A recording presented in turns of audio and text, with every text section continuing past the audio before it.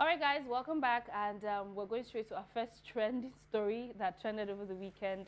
Um, Rema mm -hmm. gains admission into University of Lagos. Hmm. So, I mean, this story is very incredible, very funny because he says his mom says he has to go back to school, and I wonder why he wants to go back to Unilag. Now, a certain girl tweeted saying that she's going to repeat his semester so that she can be in the same class with Rema. How stupid and absurd can you be to say you want to repeat it doesn't make sense. I mean, um, at the end of the day, it's just what it is. You know, people do things for the superstars that they love. But great one for Rema going back to school.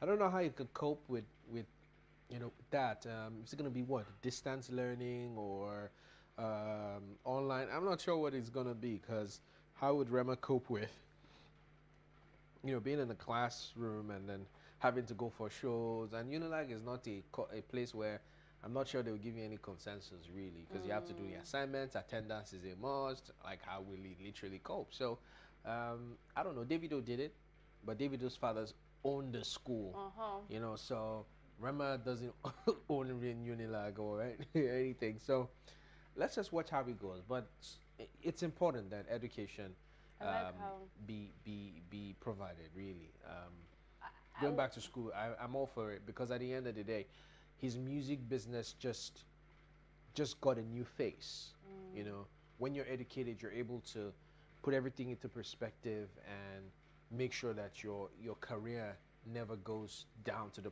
point of you you not being able to go up. So I'm happy for him. Really. He says also, I go try drop the album before I enter school, make them no go beat me for Unilag. Plus, I'm in the creative arts department, he added. So I don't really know how he intends to go about this. Is he going to be going with security? Is he because they were going to be mobbing him? Class is going to be full all the time because Rema is in the class. I don't know how he wants to work I, around so it. I don't think that that should be much of a problem really because students know how to conform. Like mm. when there is a star in the building. I remember when there's this Nollywood actor who went back to school to study law. Everybody just knows him. He's a Nollywood star and he's our class, but you just conform. You just go yeah. on with it. The razzmatazz of, eh, first day, second day, third day, you're already used to him. You're used to seeing him in class, mm. and then you move on with learning. I mean, he's there to learn as well, you know. So I think that that that. But I'm a bit surprised, and I'm happy that he's Unilag. I mean, I if it was some, yeah, you'd have probably thought abroad, but it's good, and we need to start encouraging our universities to understand that the world has really gone beyond putting you know students in a box mm. if you permit me to put it that way I understand the learning curriculum, I understand setting things, but in, in other clients, people are able to relate to their lecturers and their classes via uh, via mm, Skype I mean, or online or whatever it is, Zoom, whatever it is. So I think that universities now, I mean, look at what some of the um, private universities are doing. Mm. Most of them are taking their classes online. I was with a friend and he had his tab and then he was listening to mm. lectures and he was writing. Do you understand what I mean? So that is something that I think that our federal schools and, and our state schools should begin to look at how we can modernize learning. And you know, some people say, "Oh, I'm a celebrity. I can't go back to school. I can't do this thing. I can't do that." I mean, Rema could have said, "I don't need school because he's already an established star, even though he's young." But that part of education is really, really important. You can't um, take it for granted. You the, cannot the, the, take reason, it for granted. The reason why education is important is that education stays with you forever. Mm. Fame and music might not necessarily stay with you for a long time. and you might not be up there, up there. Look at the great superstars, artists, you know. How many of them are up there right now? Not so much. You mm. get what I mean? I mean, there was one time, take for example, Usain Bolt, one of the fastest 100 meters, you know, um, sprint star you would ever find he's no longer up there. There's somebody who's the fastest now. So, um, yeah, I mean, I just feel like, you know, education stays with you for the longest and helps you go through whatever it is you are about to venture in terms of business, career, all of that, yeah. I remember looking at Megan Thee Stallion who got a degree. There was early this year. She there are lots of them. Who, lots of them who went back to school The opportunities were not there before they found this new fame and money. Mm -hmm. Now that the opportunity is there, they will always chase their heart desire, which is to go to school. All right, so it's important to go to school whichever way. Some people say they don't need school, but school is really, really important. It is important. It gives you a different perspective, even if you've been working for years. And some people say, oh, I've been working in this space, do I need to go back to school? I mean, you need, by all means, education is also very important. Although I know some people have education and they probably don't have those opportunities. You see people amassing PhDs and they can't get certain kind of jobs because no, it's not always all about the PhD. It's about what you do with what you have. So mm. it's balance on both ends. You're a celebrity, get back to school if you can, and just broaden your horizon. That's one thing, and that's that's that's quite interesting. And I'm happy for Wema. Whichever way, those girls, there's a meme on our page, on written page, that says Wema when, he, when he's in school, and all the girls are bombarding him, and all the 100 level girls want to be his friend, and another one where it's just really crazy memes on social media about Rema going back to school. Can't wait to see his experience in university. Well, that's because he's a star, anyways. Um, we're moving on to our next trending story. Sidney Poitier, the first black man to win uh, best Oscar. Yeah, Oscar died in '94. I'd always known about Sidney Poitier and his contribution to film. That's a in, um, celebration of life. of Anybody life. who dies from 18, even 70 and above, Mhm. is a celebration of life because I mean, by his special mightiness, we're able to live till we're 70, right? Yeah. So yeah, if you attain that age, it's a celebration of you know life in itself. 94. That is that is living life to its fullest. You know. Mm. yeah. Um, so, so yeah. he apparently won the Ac- Academy Awards for the Best Actor for Lilies of the Field, the comedy drama in 1963, and he was acclaimed as the first African American man to ever slap a white man on screen for his role in the movie In the Heat of the Night in 1967. Apparently, he's gotten so many Academy Awards nomination, Golden Globe nomination, BAFTA, Screen Actors Guild nomination, and um, apparently he became or he became one of the last surviving major stars from the golden age. That's the, the golden age of the Hollywood um, cinema, and the oldest living and earliest surviving male Academy Award winner. Hmm. You know, because I think Kirk Douglas too passed last year. These are some of the men, one of the few living legends from that golden era. era. of Hollywood. So he definitely will be remembered for all the amazing things that he did hmm. in, um, in in the world of film. And also Betty White too passed at the age of 90, 99. Betty White too was very popular in America mm-hmm. for her work on television too and film. So that's it with Sidney Poitier. And this next story is quite interesting. Shaffy Bello is saying divorcing my husband five years ago was a huge sacrifice. She had an interview with um, Chude and spoke about um, what she gave up for her career, that she left her family abroad to come to Nigeria, and then she had to eventually evolve to a divorce. And that's what she gave up for her career. Shaffy Bello. Yes. Ah. Okay, so she gave up her marriage for her career. Is well, that what it is? literally, she, she had to sacrifice. So she sacrificed that part to pursue what she wanted to do. Saying That means she g- Mhm. divorced, gave up her marriage for her career. I mean, Mm, it's, yes, it's that's the what same she thing. did. Well, I don't know. People do different things for. I mean, you can't judge her really. I wasn't in the marriage. I don't know the details. However, it just sounds so wrong that you'd give up your marriage for your career. It, it sounds so wrong, but then again, we don't want to judge because we don't know the details. You following? Mm-hmm. Sounds wrong when you look at it at face value or you hear it at face value. You're like, how is it that you're giving up your marriage for your career? However, if she had given us more details, we'd have said, So okay. what she said was that she was actually hands-on with her kids up until the age of 13, and then she left. Do you understand? She was hands- left what? She left them abroad. with the husband. Yeah, with the husband and came back to Nigeria. Uh-huh. She said, I paid the price of not having a connection with my children then. My daughter was 13, my son was 11. I was hands on mother before I left them. So she left them, came to Nigeria. She said she felt very pregnant. When I mean pregnant, in the ironic sense of it, that she wasn't actually doing the thing she wanted to do. So she left them, and that ultimately led to a divorce Hmm. because she wasn't there. Sure, you get because she said before that she quit her job to raise her kids. She raised them up to a point and then left them. So right now she's well, she's in a good space in terms of what those are some of the regrets she probably will have. And now it leads to the ultimate question of women sacrificing. So they say a woman can sacrifice, but a man cannot. That women mostly sacrifice a lot of things in marriage.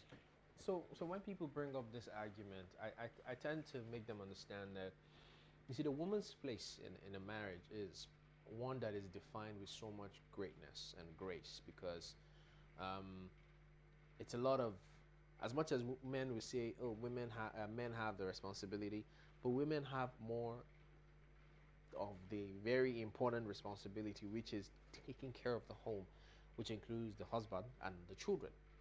Um, now, where there's balance is where you have a spouse who is supportive to be able to say, okay, you know what, so that you don't knock off your dreams. I remember when RMD posted something about my wife quitting her job to um, pursue her dreams, and then he came back and said, because of the criticisms he got, he now came back and said, look, she didn't quit because of me. She quit because first of all, she wanted to focus on the children. Mm. So it's a thing of choice. So if Shaffy Bello had stayed 14 years, because her first son is what at the time was 14, right? So if she had sacrificed 14, 15 years of her life taking care of her kids, and then suddenly realized that okay, look, I'm not where I want to be in terms of my career. Maybe I can come back to Nigeria and become a mega star, which eventually that was what happened. There's always a price for everything. Would I judge her for it? No, because at the end of the day, she achieved her dreams, but mm. there's always a price to it. Seems like and I don't have to know, pay the greater price. and I don't know this issue. more like because it's, it's it's it's stigmatizing if you look at it. Eh, well, it can be, but I, I think, like I said, with a supportive spouse, mm. um, like I said, I don't know the intricacies behind it. But if I don't want to, if I'm in that situation and I don't want to lose my wife, I'll take a trip down to Nigeria with her. I I actually know a family now. The woman is got a big job overseas. The man used to work at a bank here. I use the word used to because he's quit his job and followed his wife because he says, "Look, that's good though. I'm not gonna how let my wife." How many men I'm not do gonna- that? I'm not gonna you my wife stay it, here. no, I'm not gonna make my wife stay here Okay. and uh, sorry, be abroad and I'm here doing what?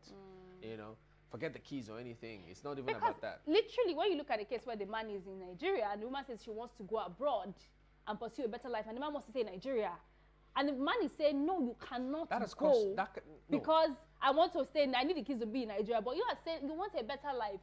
Look at those things. At the end of the day, it's almost like the woman has to make the ultimate sacrifice. While the man is what he wants. Is, this is not um, a So what don't- wants conversation, but this is something that is I- I- trending. I, wouldn't want you, to know? put it that way. I I know that some men can be very hot-headed and they, they want it their way, their way. But uh, marriage is marriage is a it's a situation where two people are talking about their issues and, and making informed decisions together. So it's a conversation. I know a family, and we know families that the either the wife is abroad and the man is here working and she's there with the kids. You know, it's mm-hmm. around us a lot. Yeah. We also know the, the reverse is the case where you have the woman here and the man is abroad. In short, back in the day, before things became a bit more better, now that you know it's better, women are the ones going and taking care of the kids. Of the before, kids. it's the man that we go and then be sending money back home. you get what I mean? But things have changed. Men are now having more funds to say, okay, let me move my wife and my kids abroad, mm. stay there, raise the let kids. chopping let me my just life be. Ni- you chopping see, life. You see where your brain is going. Chopping life you in see where your brain is going. Why? TK, why if is you, your if brain? you, if you, Why? had, if you, So, if see, you, I you just you're already being But that's what No, people used to no. do now. You're already That's why I reasoning say no. crazy. How is it that in your mind that's you're what not thinking some of you the you're not thinking of the hard work he's putting in in Nigeria. I like the hard work is with. Working hard. Do you know how hard he has to work? Because the currency I know. the currency I know, the definitely currency know. Mm, difference is wide. The variance is wide. So you have to work two times that money and send to you. I that know. are there. I understand. Uh, so what is the enjoyment there? I understand. No one tell me I what is the enjoyment there. No, no, I understand. I'm just saying that um, in some cases, yeah, it's an advantage for him to do what he so wants you to now do. you will not allow your husband. You will not go because you want to be monitoring your Eh, husband. no, I'm going. No, will go. So, but, but you won't you won't be worried what he's doing here, would you? Can you see? Can I'm you see what he just said? Chike said, "I won't be worried what he's doing oh here. Why Obvious. does he have would you to be, doing?" Or would you be worried what he's doing here? As long as he's taking care of you. Can you see? Are you Let's worried? not have that conversation. I'm not worried, honestly, because he's not doing what he's not supposed to be doing. But then How do you know? Are you there? you that said yeah. Oh my goodness, it's just neither there or there. At the end of the day, the man is sending money. Some men, no, I'm As not long as he's generalizing all men. No. As long as he's sending money. No, so money Chike said, as long, No, so as long as sending money, the one So- cannot complain. No, no, that's not it.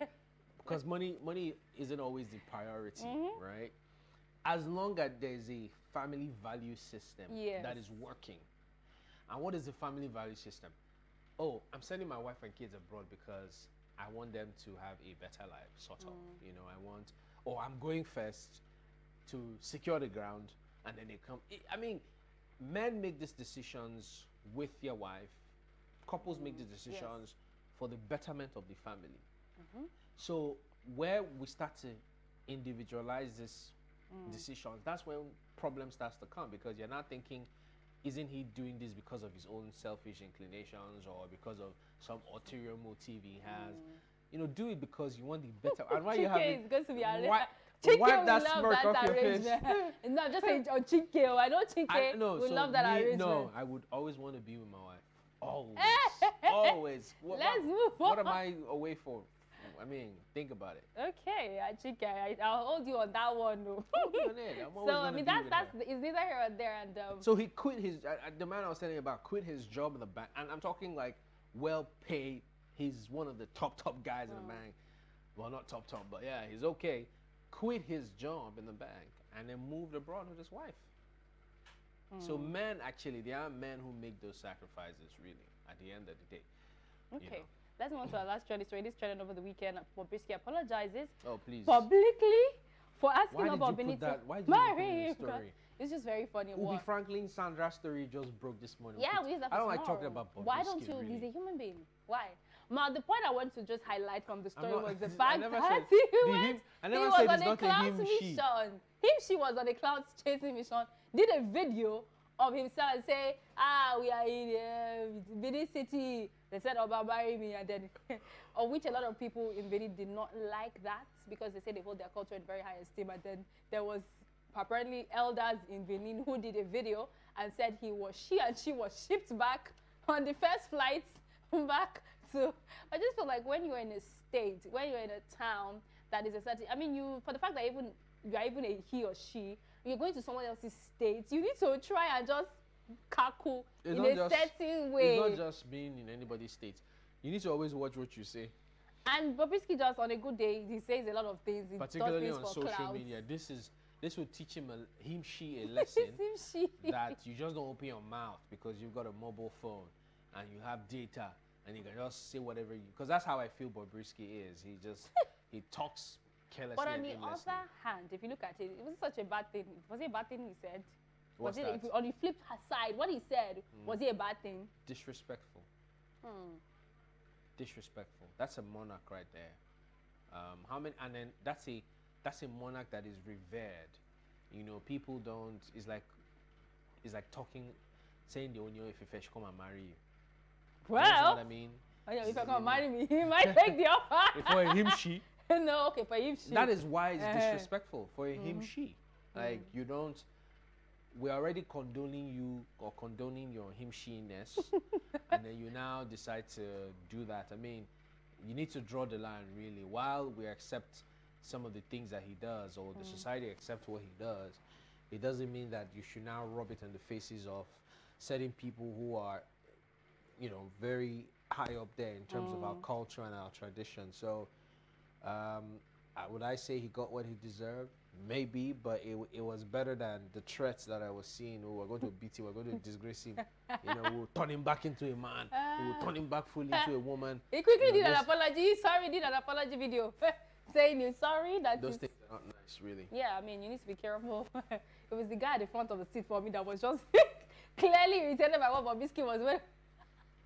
I don't, know I don't know what to say. Maybe it's just a case. But I mean, that's it. We're trending.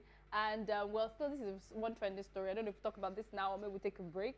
The mommy Gio that has literally flooded our way with her meme and um, there was an interview that was done with her and then she said that everything that was put on social media is actually a lie maybe we'll just take a break and then we'll come back and talk about it it's a really hilarious um, trend and it's amazing things that can go viral on social media so please stick around for that. We'll be right back. Don't go anywhere